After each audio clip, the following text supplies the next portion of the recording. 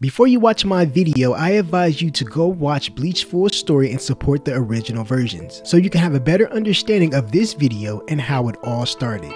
I love Bleach, and I want to see it succeed in the future. If you want to talk about great anime fights that was remarkable, unexpected, and a roller coaster, you have to turn all your attention towards Ichigo versus Ulquiorra. The moment this fight was available to watch, the viewing ratings went straight through the roof.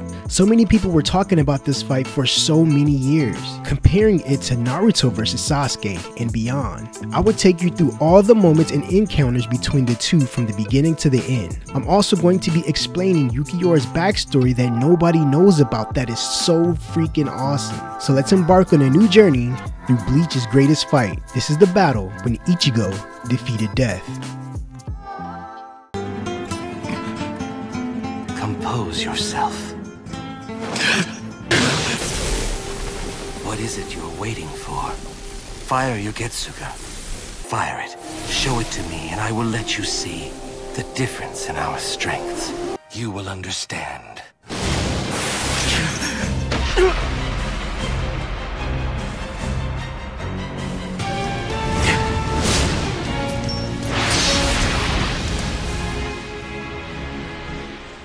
The first encounter didn't start off tremendously epic and crazy, but memorable and subtle. It began in episode 113. Ichigo has been fighting an internal battle within himself, holding back the hollow version of him from taking over his mind and body. The hollow version told him when every day passed by, he gets closer and closer of taking over Ichigo's main body. This is great foreshadowing because by the time you finish this video, you will see everything come full circle. Ichigo young sister walks in his room and tells him that she knows that he's a Soul Reaper. Ichigo was surprised and shocked, wondering how did she find out. Meanwhile, in Soul Society, we see the research and development team spot two powerful threats appear in East Karakura Town. Ichigo felt the tremendous spiritual pressure of the enemy and quickly left towards East Karakura. The scene cuts to the location where the spiritual pressure was scanned, and we see the first appearance of Yammy and Ulquiorra. This reminds me of Vegeta and Nappa when the Saiyans arrived on planet Earth to find the person that eliminated Raditz. But back to the story. Chad and Orihime enters the battlefield to fight the enemy, but Yammy quickly dispatched Chad with a blow. Orihime looks back and sees Chad unconscious on the ground while bleeding from his arm. She leans over Chad and summons her ability to protect him from Yammy dealing the final blow. Yammy stood over Orihime despising her because of her actions and asked Ulquiorra should he spare her life. Ulquiorra looked at the woman and responded in a low tone saying, no, she's useless and trash. Yammy raised his right hand and tried to smash Orihime's face in, but Ichigo showed up right on time to protect his friends in danger. He instantly used his Bankai to transform into his most powerful form, cutting off Yammy's right arm in the blink of an eye. Ulquiorra used his observation skill to analyze Ichigo's strength in Bankai and realized that Ichigo is strong, but he can't pose a threat to Aizen. But suddenly, Ichigo's hollow connected to his mind telling him, if you let me take over right now, I can dispatch both of them. Ichigo grabs his face and continues to fight his inner demon from surfacing on the battlefield. However, this incident left Ichigo in a vulnerable state, so Yammy kicked him in the chest, injuring Ichigo. Urahara arrived on the battlefield and seen that Ichigo needed help, so he protected him and sent a blast towards Yammy. But instantaneously, Ulquiorra deflected the blast away and struck Yammy directly in his abdomen. Ulquiorra told Yammy that he is an idiot because he's trying to fight Urahara and Yoruichi, and his power level won't stand a chance against them. Then he proceeded to open up a portal to leave. But Yoruichi asked him, So you're just gonna run away? And Ulquiorra responds saying, You two are risking your lives to protect something that is already dead, and this situation lies in my favor. Bro, when I first heard this, I was like, this character must be worlds apart from the main cast of Bleach if he made a statement like that. And another thing about this moment, the Bleach community thought that this character was the highest rank of all Espada, and he must be the leader of the group because he's so strong. So it made me wonder, what type of training would Ichigo go through just to try to defeat this juggernaut villain that stands before them? Now at this moment, the Soul Reapers invaded Hueco Mundo because Aizen kidnapped Orihime. And during the process of getting her back, a lot of Espadas and their ranks have been revealed. For example, this is Espada number 9, Espada number 8, Espada number 7, and Espada number 6. So Espada number 5 through 1 hasn't been revealed yet, so the mystery of the characters' ranks compels the viewers to watch every episode just to see the next person's rank. And in my head, I'm like, I know Ulquiorra is number 1 or maybe number 2 because he's so dang powerful. But then we see Ichigo advancing through the massive castle to finally save Orihime, but he felt a great spiritual pressure that stopped him from running. In the next scene, we see the most powerful Espada standing over him at the top of the stairs looking down at Ichigo. Pause the video. I want you guys to understand what the director was conveying in this scene. This is high level stuff.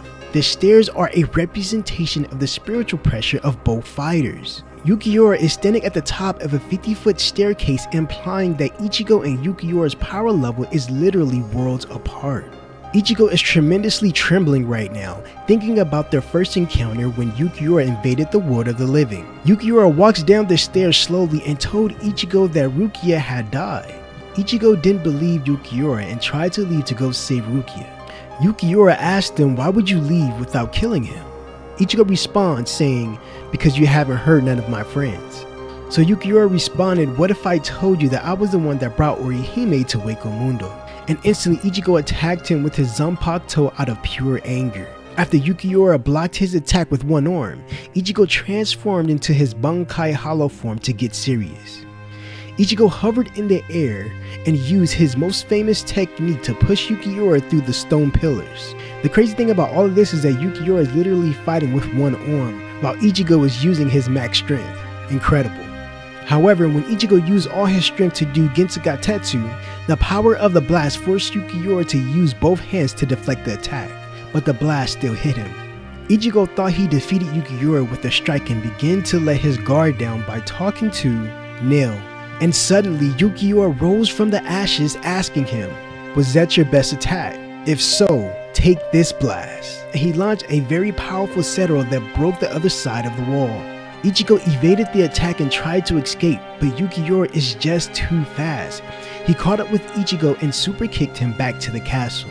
Ulquiorra began walking towards Ichigo, and Ichigo tried to stab Ulquiorra in his heart, but the sword didn't penetrate his chest. Ichigo goes on to say that if you are the leader of the Espada, all I have to do is defeat you now, and he will win the battle and seconds later, Ulquiorra grabs Ichigo's sword and rip off a portion of his jacket to show his rank, which is Espada number 4.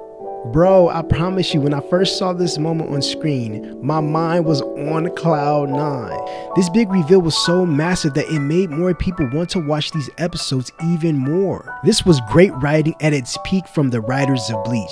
This moment will forever, I mean forever ever, be remembered by the Bleach community to the end of time. Because this whole time we all thought that this dude was the leader based off the gap between Ichigo and Ulquiorra's power. And if he wasn't number one, he at least had to be number two. But no! This character is Espada number four. Amazing. Ulquiorra looks at Ichigo and sees the fear in his eye, and deals the final blow, striking Ichigo in the middle of his chest, ending the battle.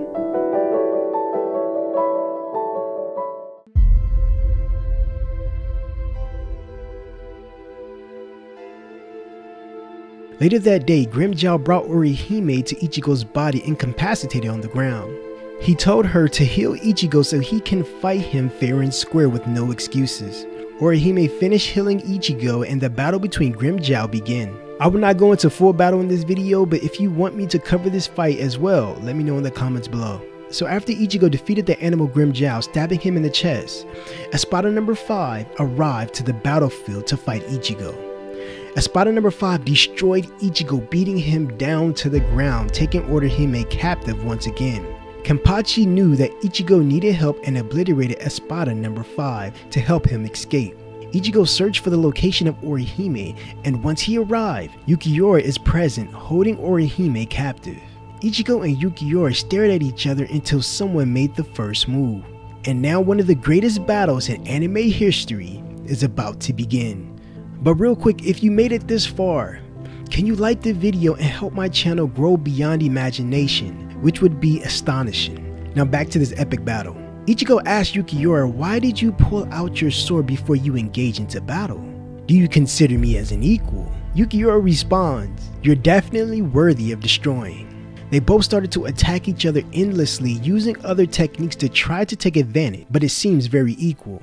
Ulquiorra lunged at Ichigo using his sword barrage technique, but Ichigo was evading every attack. Ichigo thinks to himself about their second encounter when Ulquiorra's speed and power was unmatched. Ichigo came to an epiphany that he has become a lot stronger, and now he can see the trajectory of Ulquiorra's attacks. Ichigo grabbed Ulquiorra's arm and finally struck him with his sword, cutting his chest open. Ichigo explains to him that the reason why he's able to cut him is because Ulquiorra became more human. This statement enraged Ulquiorra, causing him to strike the floor in half, showing resentment of human beings. You must be very excited to keep up with such low power level. Then increase his speed and power level to attack Ichigo unexpectedly. However, Orihime protected Ichigo by using her support powers to create a gold shield. Ulquiorra stopped and asked Orihime, why did you save him from this attack but didn't save him from the first attack? He then says, I know why. But then Ichigo cuts him off before he can respond. For so many years, I wondered what he was going to say at that moment. But now I believe he already said it. It's because she's human, and humans are irrational beings sometimes. But stay tuned because we will get into Ulquiorra's backstory and you will understand why he thinks the way he does. So Orihime gets captured from behind by the Tres Bestias, and Ichigo tried to save her but Ulquiorra stopped him immediately. Ichigo yells at Ulquiorra and told him to move and he responds, make me. Now watch this amazing part. Ichigo used his favorite attack to blind the vision of Ulquiorra, then sprinted towards Orihime but Ulquiorra predicted the unpredictable and summoned a Cetero to blast Ichigo away. This scene was hella freaking dope bro. I would love to see more things like this in anime because it gives the show more flavor. Using techniques and strategies in fight brings the show to life. This moment was equivalent to a basketball player throwing a no-look pass to their teammate to score. But back to the story. Yammy arose from the ground and attacked the Tres Bestias, throwing her to the ground. Orihime saw that she was tremendously injured and used her abilities to heal her. The woman was astonished that she helped her out even though she tried to take her life. Yammy looked at Orihime and tried to eliminate her, but one of the members of the Tres Bestias returned the favor and protected Orihime's life. This didn't last long because Yammy is just too powerful, but Ishida the Quincy arrived to the battlefield attacking Yammy. Ichigo seen that Ishida is fighting Yammy and now he could fight Ulquiorra without any distractions. Ulquiorra asked Ichigo why hasn't he used his mask to fight at his highest power level. Ichigo puts on his mask and attacks Ulquiorra launching him through the wall. While falling out of the air, Ulquiorra uses Cetero to distract Ichigo and flew right past him. Ichigo started to follow him to the edge of the sky until Ulquiorra opened up the ceiling of Hueco Mundo. Ulquiorra stands on top of a pillar with the moon positioned behind him and says these words. There are two things that are forbidden under Las Noches. Number one is using a Grand Ray Cetero. And number two, Espadas 1 through 4 cannot use their awakening because it would destroy Las Noches. He then uses his release form called Murcielago and developed a new appearance that reaches his powerful form. He wasted no time and instantaneously attacked Ichigo with his energy sword, creating a massive blast. Ichigo is overwhelmed even at his most powerful hollow state as we see his mask cracked. Ichigo stares at Ulquiorra with fear in his eyes, watching him throw an energy arrow at him. Once Ichigo dodged the first one, when he looked back at Ulquiorra, there was a second arrow already heading straight for him. This implies that Ichigo is completely outmatched and overwhelmed at this point. Ulquiorra tells Ichigo to fire his most powerful attack that gave many Espadas trouble because he wants to showcase the difference in power between the two. Once Ichigo fired his most powerful attack, it was completely harmless against Ulquiorra. Ulquiorra used his Cetero and obliterated Ichigo out of his hollow form. He continues to tarnish Ichigo and smashing him through the pillars.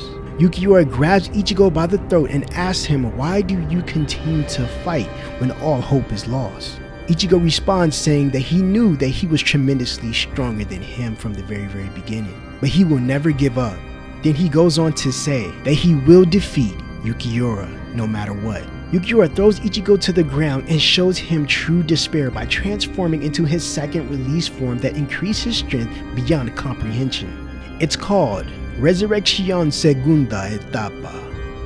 Ulquiorra stated that he hasn't even showed Lord Aizen in this form and immediately attacked Ichigo on a whole nother level. Ichigo thought he was coming from the front in appearance, but he instantly hit him from his right side. Amazing. Ulquiorra continues to toy with him using his speed and strength as a playground. Now listen to this, this is very important. He asks Ichigo why does he still fight when he knows he's dead lost? And then he goes on to say, if it is because this thing you call a heart, you will lose your life from stupidity. Orihime and Ishida finally arrive to the battleground and then sees Ulquiorra grabs Ichigo by the neck with his tail. Ulquiorra then blasted a hole directly through his chest as Orihime screams in agony. This was the day Ichigo died twice. She saved Ichigo from falling with her abilities, but Ulquiorra stopped her from going any further. Ishida attacked Ulquiorra to avert his attention towards him while Orihime heals Ichigo. While Ishida and Ulquiorra was fighting, the battle didn't last too long because Ulquiorra grabbed Ishida's left arm and broke it. Orihime saw the despair in Ishida's eyes and screamed Ichigo's name to the top of her lungs. And suddenly, Ichigo arises from the dead as Vasto Lorde.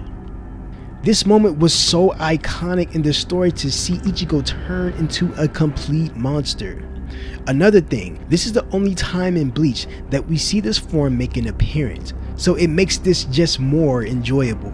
Ulquiorra tried to use a Cetero to attack Ichigo but he countered this with his own red version cancelling out the blast. The Vasto Lorde didn't waste no time and attacked Ulquiorra furiously cutting off his left arm. Ulquiorra looked at his left arm and used his most important ability, which is regeneration. Ulquiorra summons another energy arrow and throws it at the Vasto Lorde, but this was easily dodged. But the impact of the blast is so massive that you can see the magnitude of this fight at its highest level.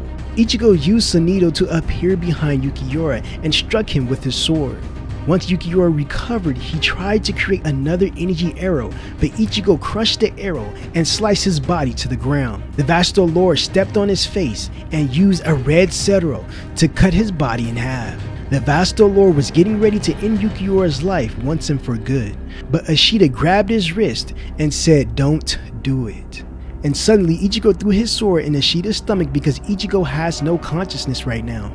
So the Vasto Lorde tried to create a massive blast that would destroy everyone, but Ulquiorra regenerated and cut Ichigo's horn off. Ichigo fell to the ground and regained consciousness and seen the horror he had done by stabbing Ishida. Ulquiorra goes to Ishida and pulled the sword out of his body. He threw it towards Ichigo and told him let's finish this. But suddenly, his right wing burst into dust. And at this moment, he knew that his time was up. He looks at Ichigo and asks him to annihilate him, but Ichigo refuses. We then see Ulquiorra's backstory on how and why he became the person he was in the manga called Ulquiorra Unmasked. He was born in the bottom of a pit where no light was present for many years. His body pigmentation was white, but his comrade's appearance was black. He goes on to say that he felt nothing, which was the epitome of void. He could not eat or taste because he was born with no mouth. So instead of fighting the void of nothingness, he became one with it, and in the result was nihilism, which is the rejection of all belief systems and morals of life. Because the individual believe it's all meaningless. This is why he hated to be compared to humans and resist having a heart. This is why in the last panel of the manga chapter, he stated that there is nothing in you and in me. But we return back to the present and Ulquiorra looked at Orihime and asked repeatedly, Are you scared? Are you scared of me? And she repeatedly responded, No, no, she's not afraid. She tries to grab his hand, but it quickly turned into dust. Ulquiorra came to an epiphany at the end and said these last words as he faded away. In this palm is a heart.